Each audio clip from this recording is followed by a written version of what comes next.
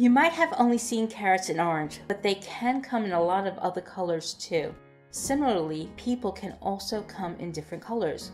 We come in different hair colors, skin colors, and eye colors. Not only that, but we come in different heights, weights, builds, and abilities. This is called diversity. As you grow older, you will meet people from all over the world and from all walks of life. We should always be open minded and accepting of everyone.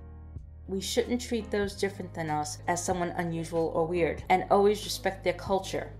Their feelings matter just as much as yours. Some of the ways we can be diverse are our skin color, our body, our age, our culture, our hair or eye color, our interests, our health, our diet, where we are from, our abilities, our economic status, our job, our religion, our strengths and weaknesses, what we believe in. Think about your friends and family and how many differences there are between you. Diversity makes life all the more interesting and exciting.